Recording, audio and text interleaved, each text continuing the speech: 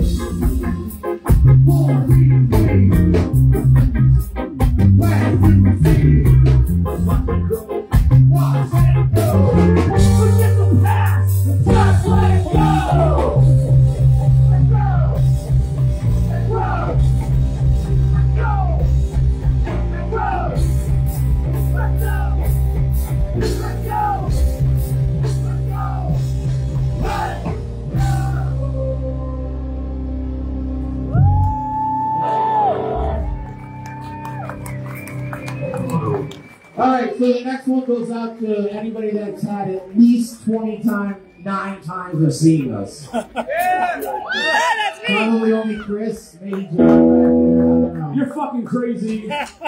There's a lot of people who support us in the city, and it means a, a fuck ton to us. They're all right here. But I've never seen anyone support a band more in this city than Chris right here. Makes a fucking noise. Y'all know Thank